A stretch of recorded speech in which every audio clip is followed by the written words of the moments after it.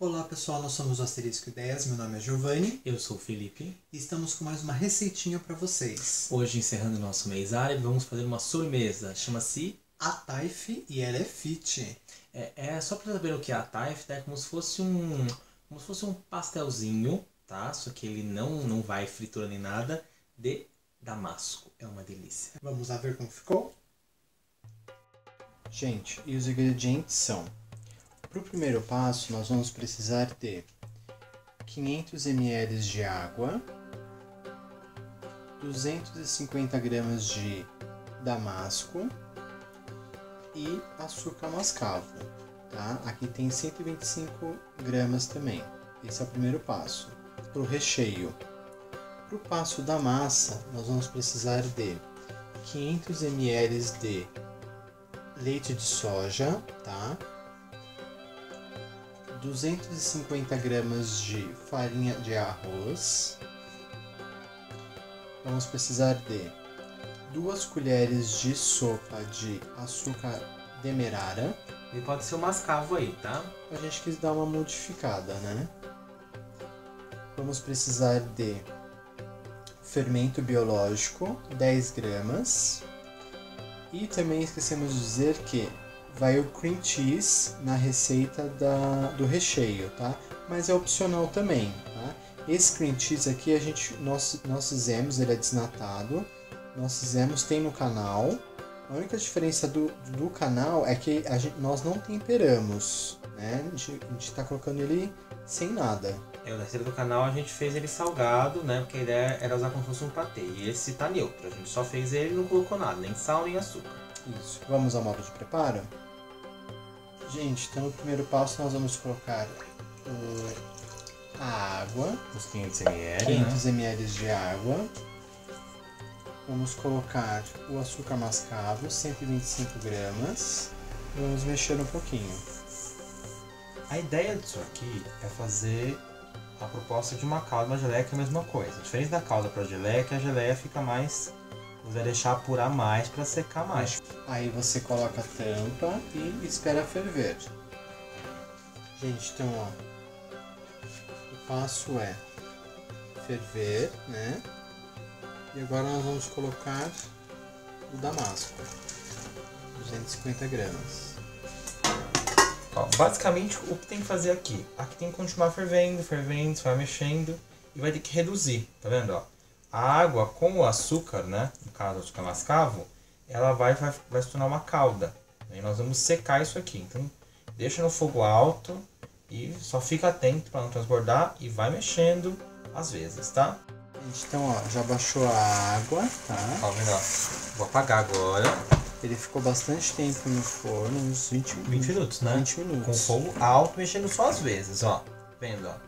Fica. Ele tem um pouquinho de líquido ainda. Agora que ele vai esfriar, isso aqui vai ficar bem uma geleia mesmo, tá vendo?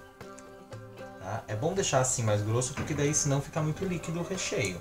Mas ó. Tá? Tem que dar um pouquinho pra provar que vai estar quente demais. Vai estar quase um caramelo isso aqui. Agora nós vamos para a segunda parte. Agora pode pôr isso aqui e só, só deixar esfriar. Nem tampa, tá? Deixa esfriar. Segundo, segundo passo, então, no liquidificador, você vai colocar primeiro a parte líquida. Então, os 500 ml de leite. Esse aqui é leite de soja, pode ser leite que você quiser, mas não fazer com de soja, porque a nossa ideia é fazer fit. Aí o pacotinho aqui com o fermento biológico, não pode ser químico, tem que ser esse biológico mesmo, tá? 10 gramas. Que é um, é um pacote, né? A farinha. Não, primeiro o, o açúcar o açúcar, mascavo, o açúcar ajuda a demerara. fazer... É, precisa demerar. Pode ser mascavo, pode ser outro, mas vamos fazer com esse aqui. É São bom, duas colheres de sopa. Vamos colocar o açúcar depois do fermento, que ajuda a fazer já o efeito, tá? E a farinha. A farinha. Vou colocar por baixo o líquido, né? Pra facilitar Na hora de, pra bater, né? queimar o seu liquidificador, né? E nós vamos bater durante 5 minutos. O importante é bater durante 5 minutos, gente. Marca aí. Isso faz parte da, da tradição da receita aí, tá? Gente, então agora Então vai 5 minutos Cinco aí minutos depois, vamos colocar no recipiente e vamos aguardar ele continuar fermentando. Ele vai fazer umas bolinhas. É, Ele já, ele já tá meio com as bolinhas aqui, tá? Deixa aí mais uns 5 minutinhos. Gente, então olha, depois de 5 minutos que a gente deixou Olha as bolinhas, tá vendo aqui, ó? as bordinhas. Tem bolinhas por todos os cantos. E ó, a massa tá firminha, tá vendo? Ó, Ó, olha como ela tá firme. Então, o próximo passo é colocar, untar a Frigideira, né? frigideira. Então você coloca só um pouquinho e dá uma untadinha. Já ela. Com papel toalha assim. Então vamos colocar com uma concha, a gente vai colocar aos pouquinhos. Você vai deixar cozinhando só um lado do. É, não. só um lado da massa. Ela tem que fazer uma bolinha assim. Fosse uma panquequinha miniatura. Aí você deixa Ela começa a fazer essas bolinhas, tá vendo? ó? Gente, então ó, deixou fazer um pouquinho. Vendo, ó? Aí a gente vai recheá-los. Que tende a ser montado logo na sequência, que senão depois ele não gruda. Então a gente vai colocar um pouquinho do daquela geleinha que a gente na mão. Vocês verem aqui, ó. ó. Ó? Aí você coloca um pouquinho só de recheio, né? Porque Só um senão você não consegue fechar. E um pouquinho do cream cheese. Então a geleia e o cream cheese. E aí você vai fechar, como se fosse um pastelzinho.